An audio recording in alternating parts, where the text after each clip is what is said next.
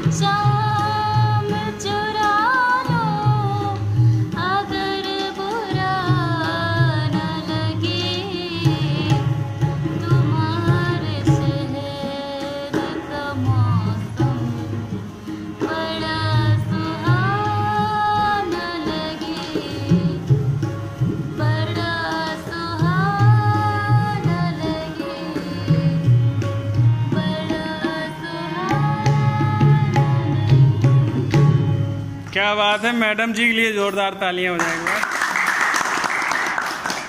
तो आपने ये गज़ल गाया है ना? बहुत शानदार। अच्छा गाती हैं आप।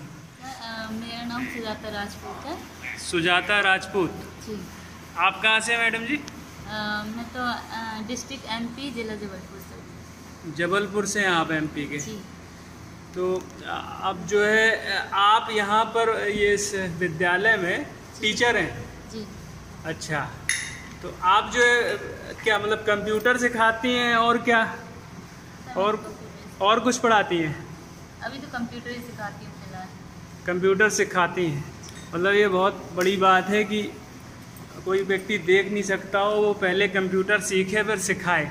तो आपने ये कैसे सीखा ये कंप्यूटर वगैरह?